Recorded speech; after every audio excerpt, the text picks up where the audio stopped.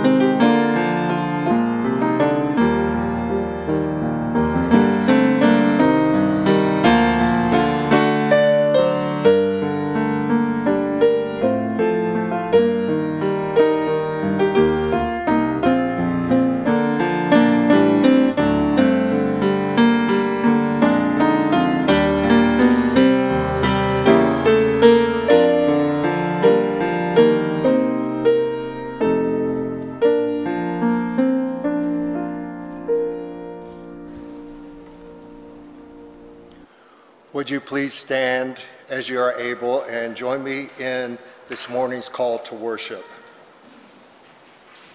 Come now to worship God, who is the very definition of generosity, and all who calls each of us to become.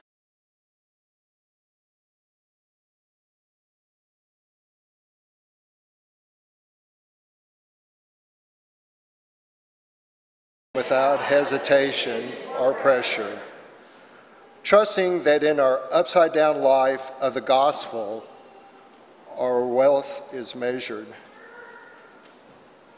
not by what we have, by not what we have, but what we give away.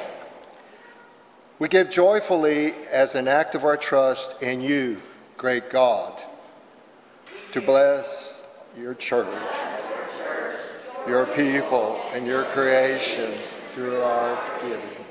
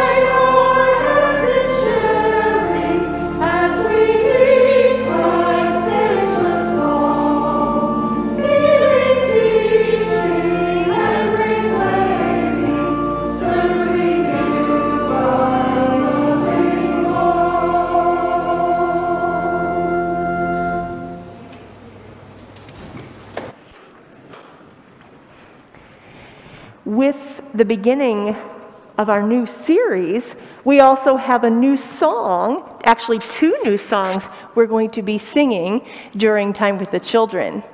And so the choir is going to sing our first one, You Are All We Have.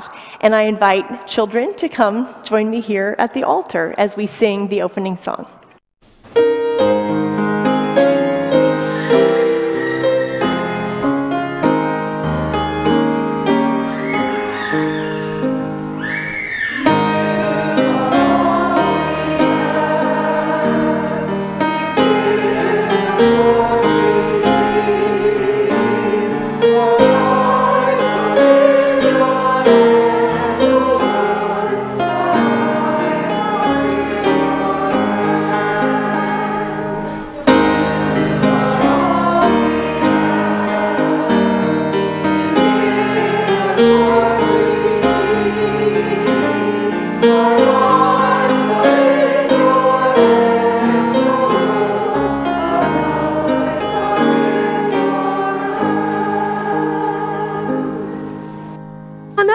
Welcome everybody.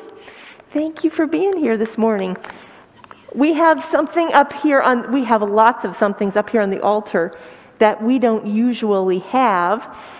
Anybody see a theme going on? Yes. Hats.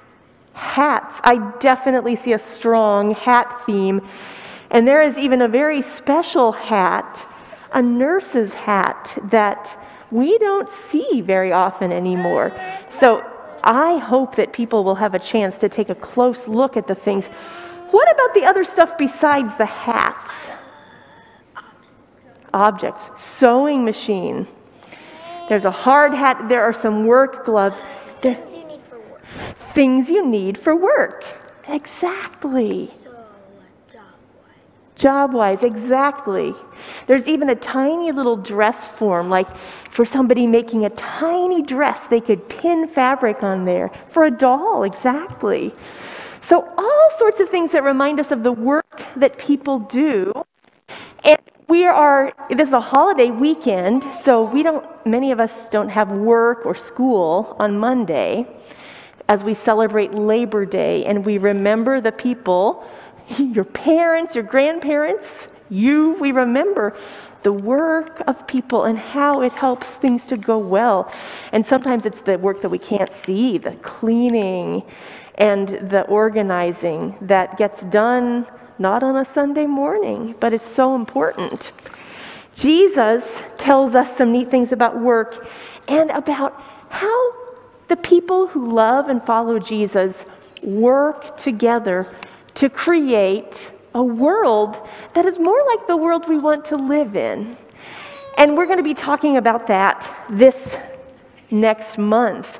I've got a piece of paper for everybody. You can take it if you want. Here you go, ma'am. Okay, now we're going to see if we can stack these.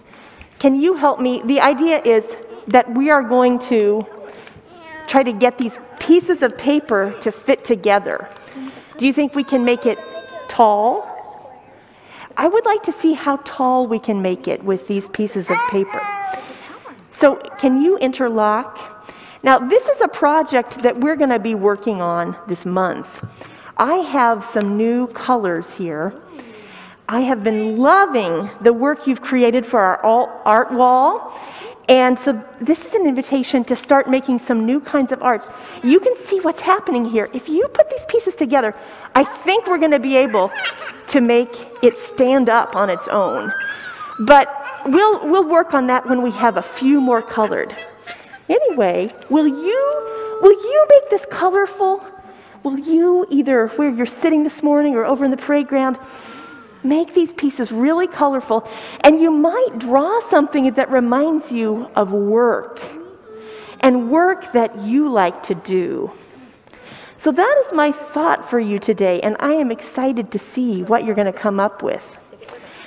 And we'll just, I'm going to tell you about the song that we're going to hear as we leave this morning. So, we we were listening to one kind of song every Sunday when we came and when we went.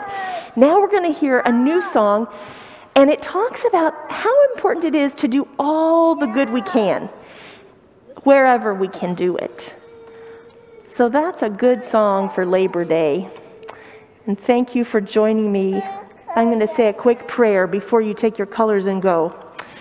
Oh God, bless these children, bless their families, bless our time together this morning. In Jesus' name, amen. From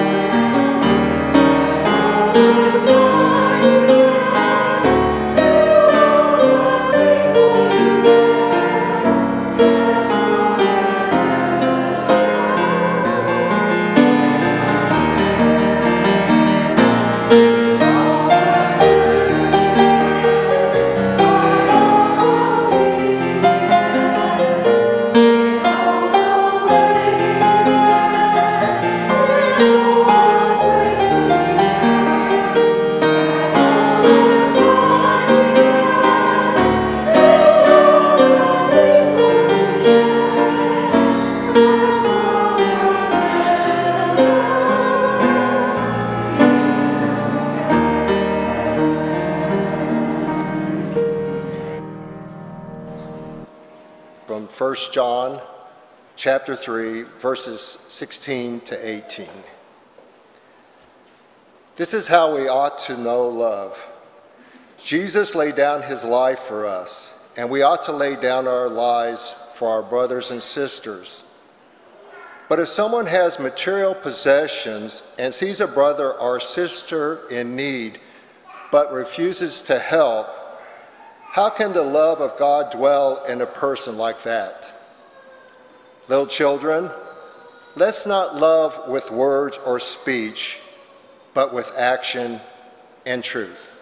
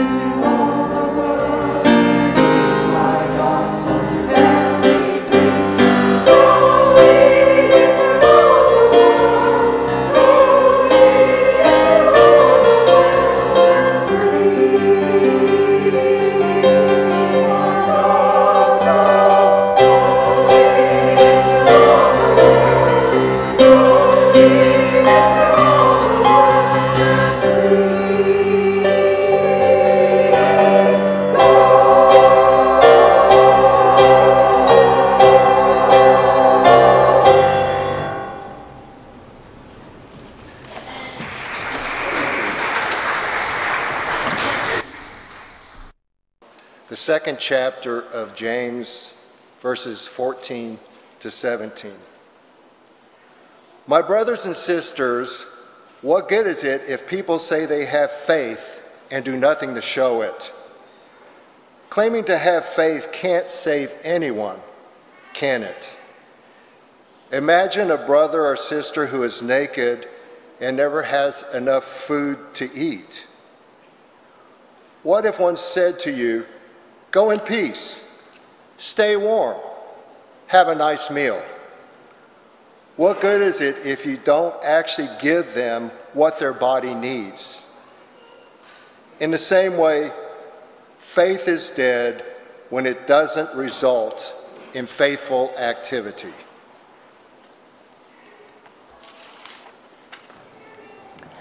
The word of God for the people of God.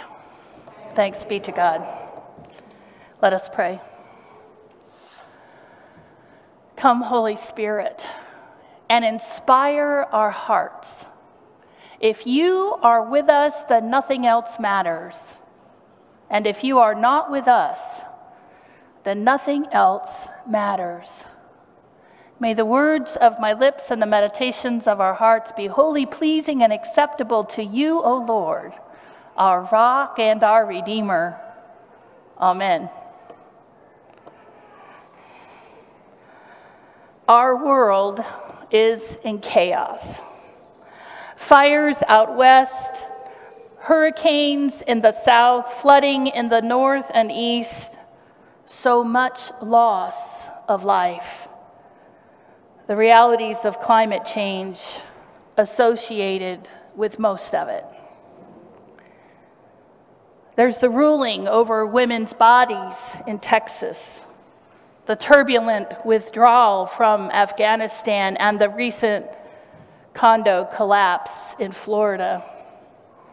Markets, though holding strong, have been fluctuating like the waxing and waning of the tides the COVID 19 virus continues to wreak havoc with its deadly variants as loved ones fill up our hospitals and morgues again. There's grief and there's anger in a lot of places that we look the weariness of our healthcare and emergency workers, along with our own prolonged fatigue in this pandemic, weighs at our hearts and pulls our hands into fists. If we're not careful, the darkness of hopelessness can shroud the light that we are called to bear. And I belong, I believe that we long to be hopeful. But it is hard to be hopeful when our hands are clenched in fits of rage or frustration or ringing with worry. It's hard to be hopeful when our hearts are heavy and full of sadness. I get that. I get that and I struggle along with you. But I tell you this morning that there is always hope. And we are here. The church gathers here to encourage one another and to remind one another of the hope that we have in Jesus Christ and to act on the challenge to exercise generosity in a single act of kindness each and every day. Back in January of this year, under, under the leadership of Don Hinson, the Finance Committee was divided into two groups a fundraising team to focus on events like the annual golf tournament, and a generosity team to continue the work of stewardship, the process of overseeing and managing all of the resources that are given to us. The generosity team met regularly and diligently studied Gibbs' book, Creating a Culture of Generosity, a field guide for church leaders. And this book deeply resonated with us. Recognizing that words are powerful, we decided to rename the way we talk about stewardship by adopting this new word, generosity. Now, it's not a new word, of course, in and of itself. It's a word that has been around for a very long time. And it's a word that's also very rich in meaning. We're choosing the word generosity because we believe that generosity expresses the very heart of God. We also believe that this faith community engages in acts of generosity in many, many ways, and we want to expand on that.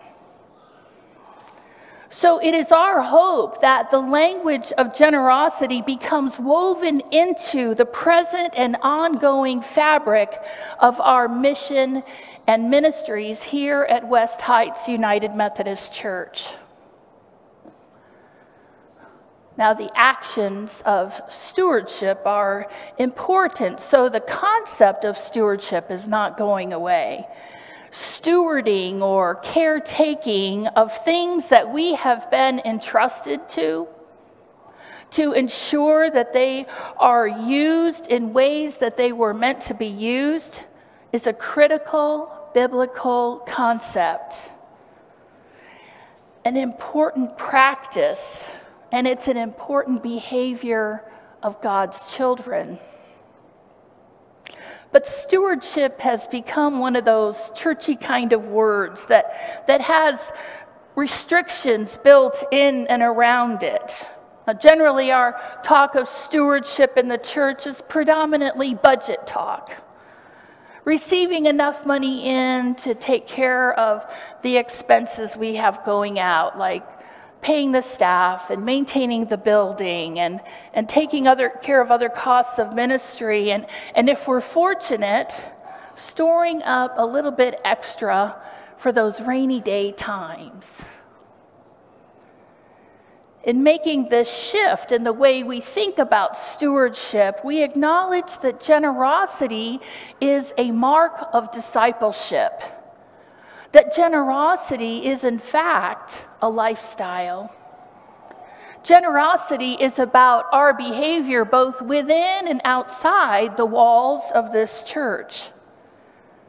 Generosity is the way that we think and utilize all of the resources that have been entrusted to us, those that we can see and hold, as well as those that are part of our character and the skills and talents that we have. So, as the hot days of summer lean into the warm and, and cooler nights of fall, we embark on this journey of hope through acts of generosity. And throughout this worship series, we will explore ways to practice generosity. And we begin today by looking at generosity as a mark of discipleship. Generosity, in and of itself, calls for open hands so that we are able to freely give to one another. Generosity holds the key of opening our heart's door to hope. And generosity is not something that we have to muster up all on our own, for it is inherent in us, inherent as our breath, because it is gifted to us by the one who created us. And the more we practice it, the more natural and regular it will come to us without even having to give it much thought. When generosity is practiced this way, becoming a characteristic trait and not an occasional or random event, it is evidenced in our life as a mark of discipleship meaning that others take notice of this pattern of behavior, this pattern of how we live out our lives, and then can then be directed to the one whom we follow. The mission of the church that Jesus established 2,000 years ago is anchored in his command to go and make disciples. Go into all the world and make disciples. And we call this the Great Commission. A disciple is one who follows. And as Christians, we follow Jesus the Christ, the anointed one sent from God, who was from the beginning, is now, and who forevermore shall be. God's generosity is evidenced most remarkably in Jesus' death. Jesus gave all, all of himself, in order that we might have life. This is why we believe that followers of Jesus engage in generous living. Discipleship then encompasses the actions we do to become more like Jesus. Sometimes discipleship is referred to as spiritual formation or Christian education or spiritual growth or perhaps being mentored in the faith. For us here at West Heights, discipleship is about growing people in their Christian faith so that they can know and follow the teachings of Jesus revealed through Scripture. And then witnessing to that faith so that others might come into this transforming relationship with Jesus as well. This is our work. This is how we are called to labor in God's kingdom. Gibb notes in his book that, excuse me, that at a very simple level, generosity describes the idea of being kind in the giving away of what one holds and does not solely refer to financial giving. For the Christian, it is rooted in our connection with a giving God who is the ultimate provider. This quintessential act of the generous God is the cornerstone of our Christian faith. That God loved us so much that God became human in the person of Jesus, even knowing that that life would end in death. Yet also knowing that that act would redeem us all and that that act of love would set us all free. Free from the bondage to sin and death and give us life. This fundamental truth of our faith is what anchors us in the knowledge of God and is the absolute source of hope in Jesus Christ. No matter what happens, no matter what happens, this is the bedrock of our faith. And believing this, trusting this, is how we stay connected to God. We believe that generosity is the outgrowth of this connection with God. Generosity is the giving away of what came from God in the first place. As God did not spare his own son, but gave him up for us all, so our posture toward God and toward others in response to God's love can be one of cheerful sacrifice and generosity. Listen up now. This can be true even in the midst of chaos even in the midst of uncertainty. Acts 20 35 reminds us of Jesus' teaching it is more blessed to give than to receive. This means that we truly can enjoy receiving, but that the blessings that we give, the blessings that we get when we give to others, are even greater. God has a tendency to fill hands that are open open to freely receive and give in a never ending role of being a conduit or a pipeline of God's mercy and grace in the world. God's goodness passes through us out to others. We live in a capitalistic economy, so, so money and the things that we buy with money are certainly part of our conversation, but generosity extends beyond the kindness we show when we share tangible things like money or building or, or clothing or food. Generosity speaks to the state of our spirits and it is expressed in things like forgiveness and gentleness towards others. We can give the gift of generosity to ourselves by being kind to ourselves, by taking it easy on ourselves by acknowledging our own fatigue or anger or frustration or grief and creating spaces where we can attend to those feelings that we have. Generosity, by its own definition, is a willingness to give help or support beyond what is usual or expected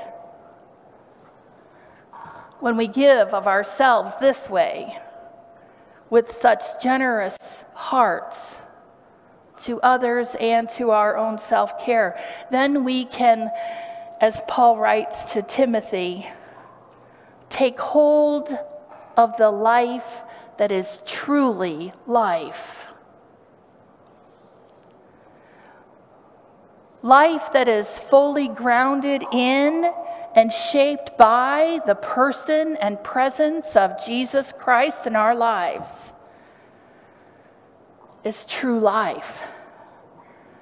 When we live this way, when, when we live with this openness, we can live with open, unclenched hands that reveal this hope and love to others. So I invite you to live into this life that is truly life. To help build some uh, muscle memory, I want you, uh, I invite you to, to join me in the challenge of being intentional in one act of generosity each day throughout this worship series.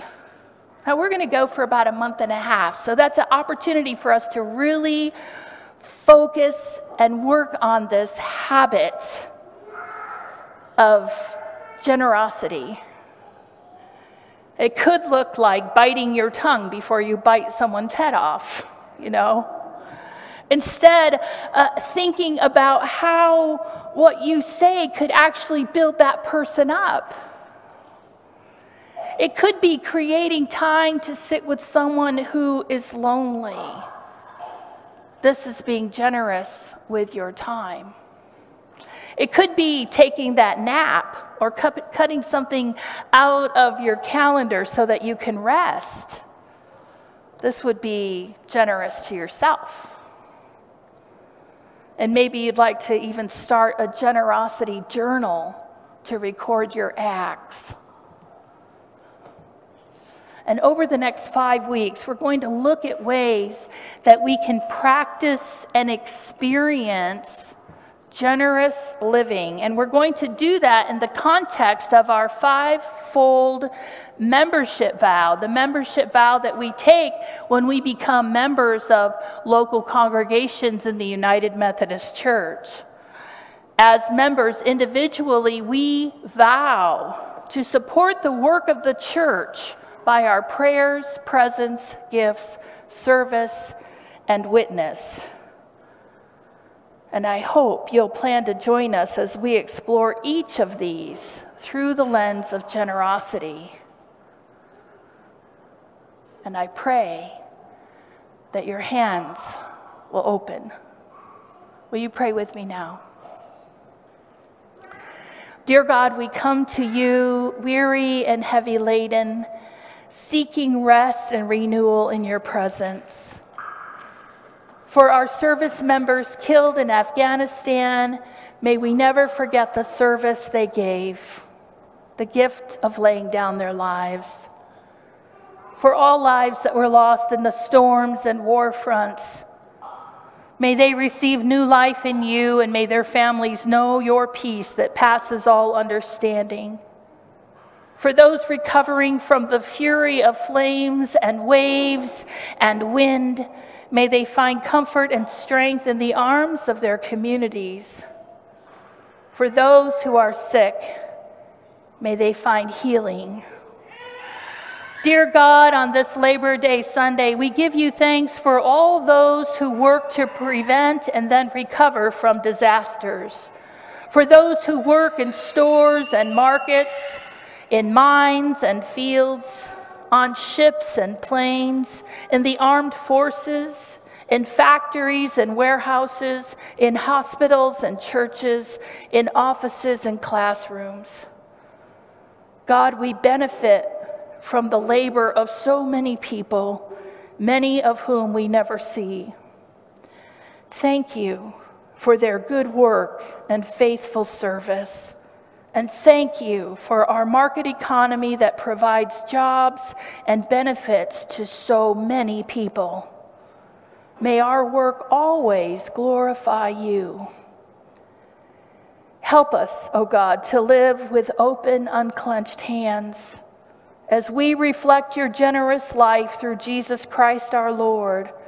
For it is in his name we pray the prayer he taught us Our Father, who art in heaven, hallowed be thy name. Thy kingdom come, thy will be done on earth as it is in heaven. Give us this day our daily bread, and forgive us our trespasses as we forgive those who trespass against us. And lead us not into temptation, but deliver us from evil. For thine is the kingdom and the power and the glory forever. Amen. Hi, everybody. I'm Don Henson, and today I want to share some thoughts about how we respond to God's blessings. God has blessed me in so many ways. I was fortunate to be born and raised in Winfield, Kansas, part of a wonderful family, one of seven kids, and great parents who uh, loved us in spite of all the stupid things we did. And growing up on a farm, I had the experience of milking cows, hauling hay, fixing fences, and working countless hours in the garden. And sometimes people say that they learn the value of hard work. I feel like I learned the value of not having to work that hard. Unfortunately, I was blessed with an interest in more uh, cerebral subjects like science, technology, and math. God blessed me with wonderful teachers, dedicated, who helped me to uh, make it through school, do well in school.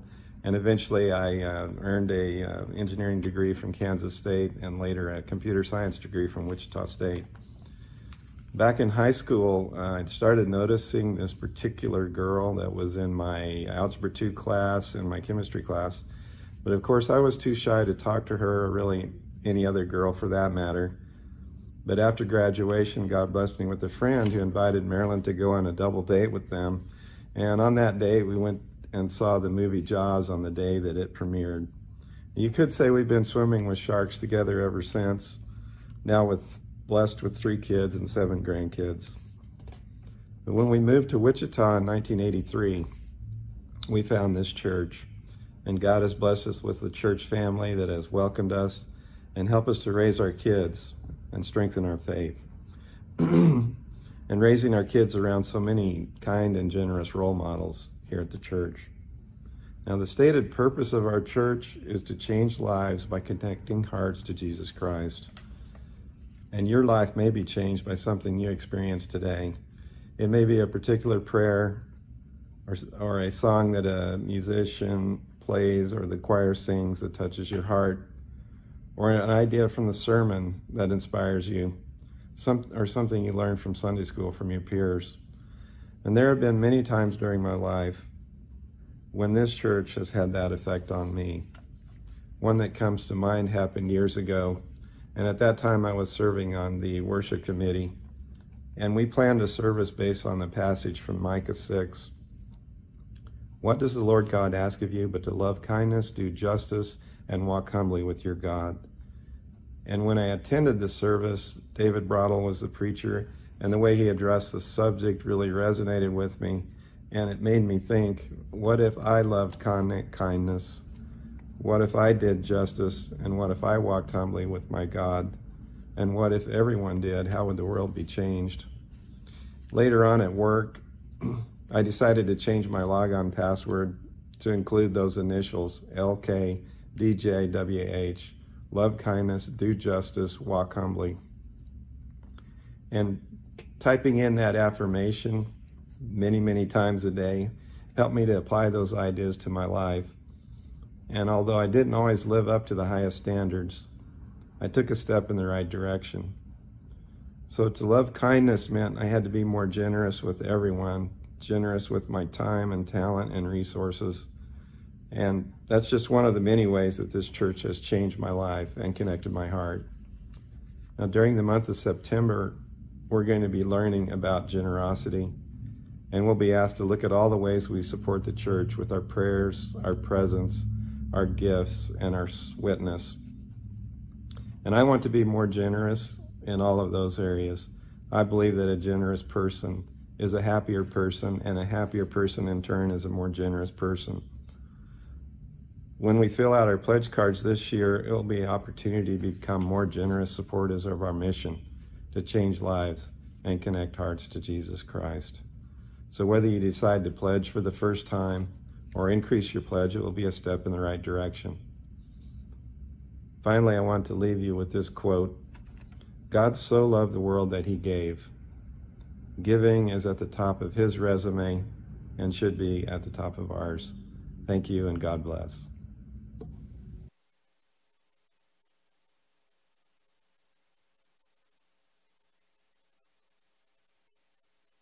Response, excuse me, in response to God's generosity and in response to Don's sharing, we pause to give thanks for the gifts that allow us to share generously financially and with our time and talents and our gifts, our prayers, and our presence.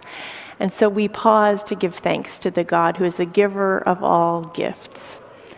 Thank you, God for your generosity toward us as we seek to follow you as faithful disciples of Jesus Christ.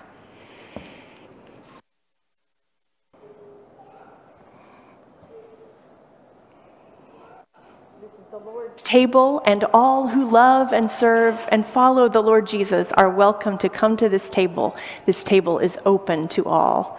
We welcome you now to partake of communion. I want to remind you that if you don't have your own, like mine is still at the pew, to get it, and to please remember that we open first the bottom and then the top.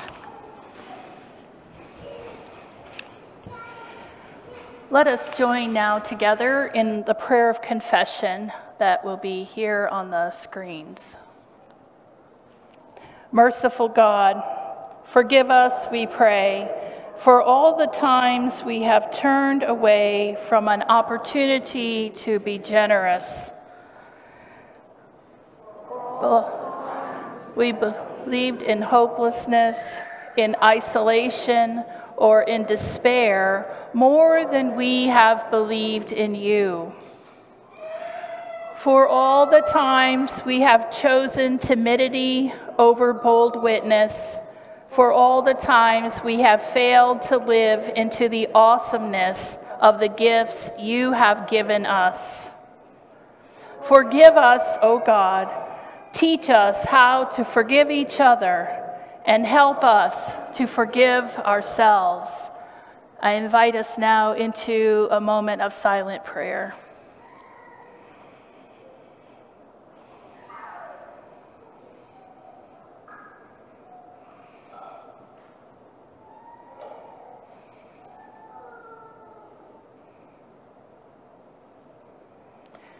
We offer our thoughts and prayers to the Lord, and together we say, Amen.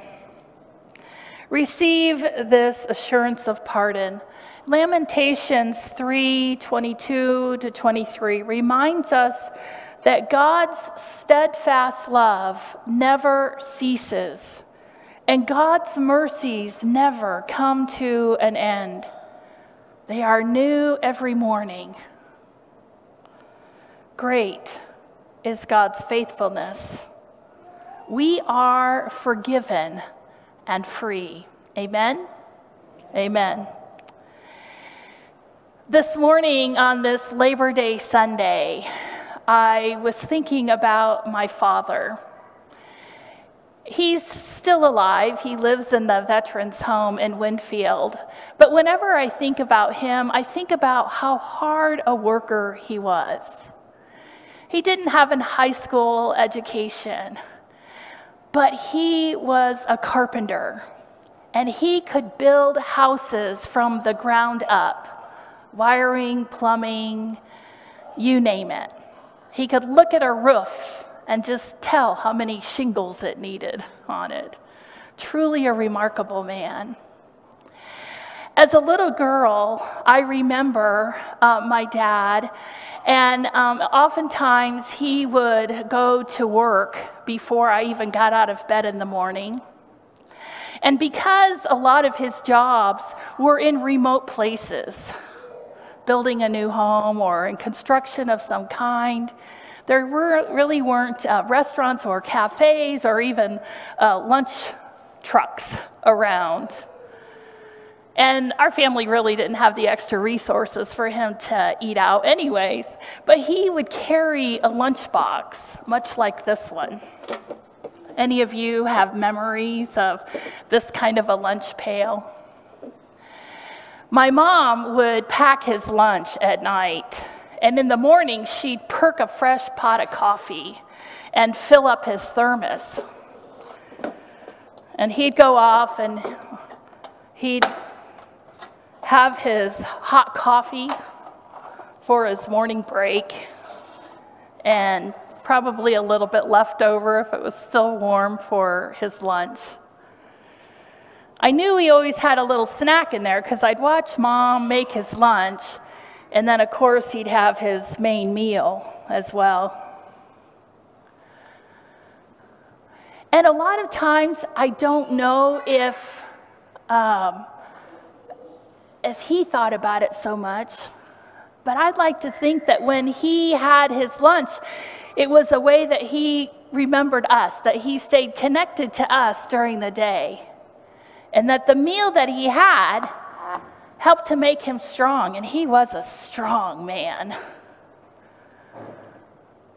And he would have his lunch, and it would nourish him, and it would give him the energy that he needed to continue doing the work that he was doing so that he could then provide, continue providing for his family. So, as we gather at this table today, this table that has symbols of so many different kinds of work that we have done or do or want to do, depending on our ages we remember that we too need to be nourished. And so we come today ready to receive this meal that has been graciously provided for us.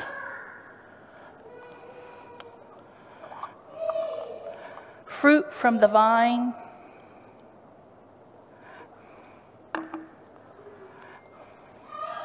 grain from the fields.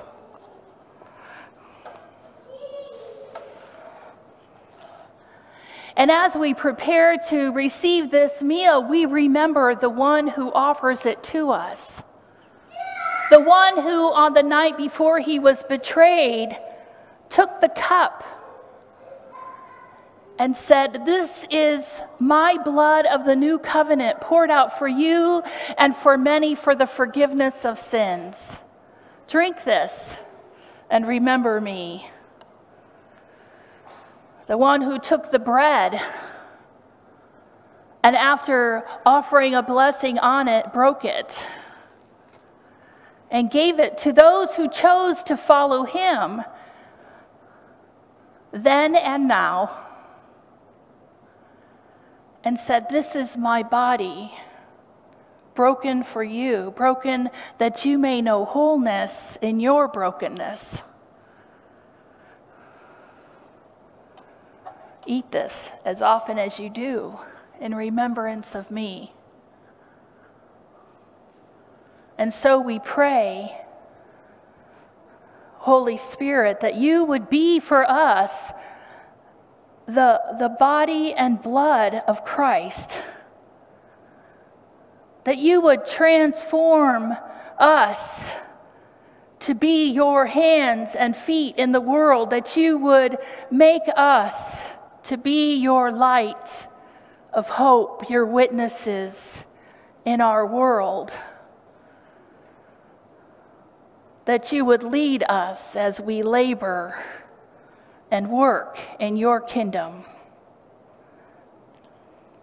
This we pray, O God, that you would make us one, one with your Son, one with you, and one with one another. We pray this in Jesus' name. And so we take the bread. For you, the bottom of your chalice there.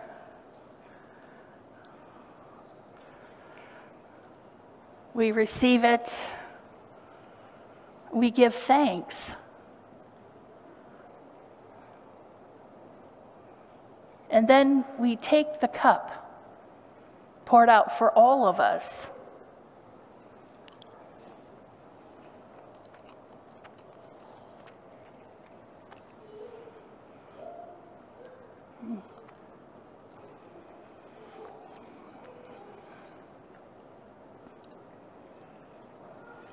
May this token, this expression of the meal that we receive today, magnify in us.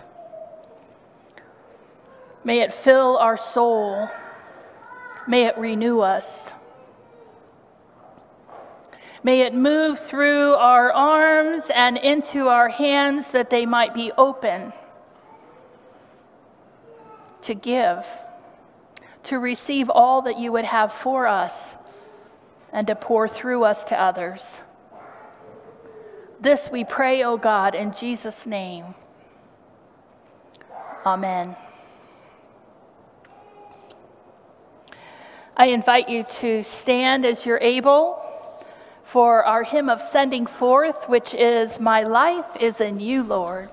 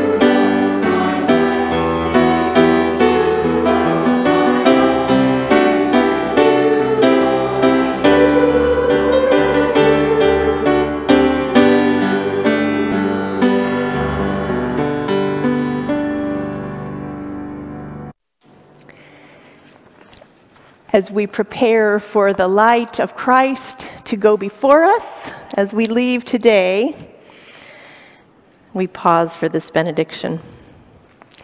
As you have been fed at this table, go feed the hungry. As you have been set free, go to set free the imprisoned. As you have received, give. As you have heard, proclaim and the blessing that you have received from Creator, Son, and Holy Spirit be always with you.